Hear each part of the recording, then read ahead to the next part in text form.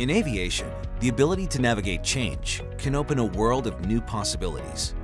Collins Aerospace is here to help you get up to speed on important topics and technologies that are shaping the future of the industry.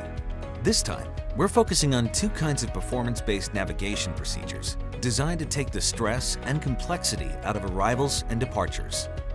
RNAV Standard Arrival Routes, known as STARS, and RNAV Standard Instrument Departure Routes, or SIDS.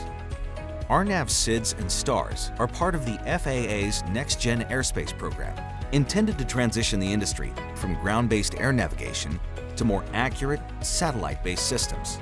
They provide pilots with three-dimensional guidance into or out of their approach or departure procedures with defined waypoints that are easier to fly and easier to understand.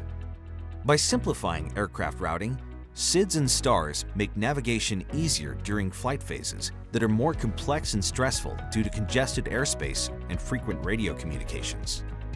For pilots, this means more efficient service, including separation and sequencing of air traffic, and providing conflict and terrain avoidance alerts, weather advisories, and radar vectors for arriving and departing traffic. SIDS and STARS also account for more challenging terrain, enabling aircraft to fly routes that may not have been possible with solely ground-based navigation equipment, translating to fuel conservation and overall air traffic optimization. It's all about using technology to improve the procedures we use most.